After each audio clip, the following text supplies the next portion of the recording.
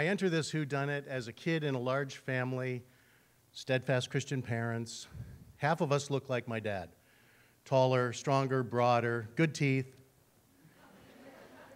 Granny was uh, Scottish royalty.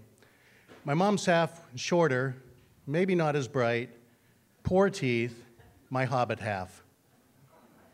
Except for one sister who was shorter than even a hobbit, and she had thick black hair. She knew she was different. She even started referring to herself as just me. One day she asked Dad, Why is she like that? And he said, I was tired that day.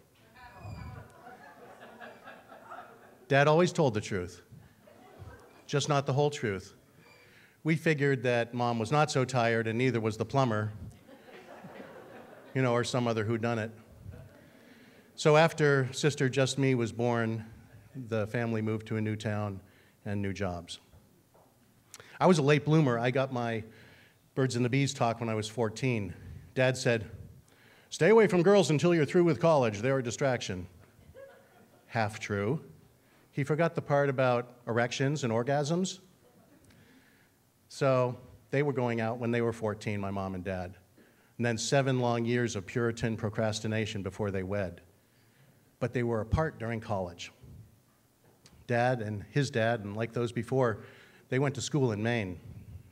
Rugged, handsome, Phi Beta Kappa, summa cum laude, men of letters and languages. My dad was center on the football team, too. And I've seen pictures. He had a sexy smile. And he stayed there over the summers, living with cousins, plinking cans, and going down to the lighthouse. He had fond memories but he kept them in here. All we knew was Dad liked old cars and lighthouses. We had a 35 Chevy with a rumble seat that he never got to restore sitting in our barn, and on the mantle was a picture of him beneath the lighthouse on the rocks gazing out at the sea. We were brought up being told it was his favorite place on earth. Now, I take a 35 coupe and a gang of handsome Mainers and maybe a case of beer in a lighthouse. That's a party. You know, I've been to lighthouses.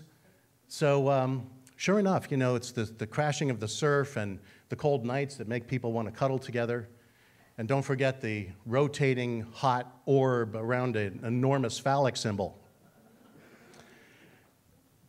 So I'm, you know, I have no doubt about what went down at the lighthouse. I just don't know who done it. The lighthouse is the only one who knows. I had a fiance and she was in love with someone else. And I had a lover who might have made a great partner, but I done it. I chose the fiance, forsaking my heart. Mom had said, She's a peach. Dad gave a level, approving smile. Were they fit judges, or do you think they just saw somebody who looked a lot like them? If my dad was here now, I would ask him, Who done it at the lighthouse? Well, you know, late in life, I rebirthed him as a friend, a confidant, and I would have asked. But, you know, he did the same thing that the rest of us do. He went back home, married the hometown girl. You know the rest. So I asked my mom, Hey, mom, why was the dad, why was uh, the lighthouse dad's favorite place on earth? And she just started moving her tongue around in her mouth pushing her dentures around, you know, like there was a piece of gristle in there. I don't know, she told me. And then she swallowed the whodunit. I decided then and there I wasn't going to ask where my sister, just me, came from. Look, there is such a thing as ancestral trauma for white men. After nine generations on these shores, I am still 96.3% white Scottish hobbit. And in every one of those generations, the recurring whodunit is a man not unlike myself who chooses to marry a woman not unlike his mother.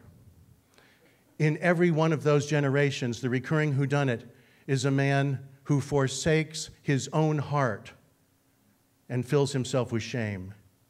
In every one of those generations, a man has learned how not to smile. it just asks for infidelity, and not as a weapon, but as a cry for help from people who don't know how to talk about whodunits.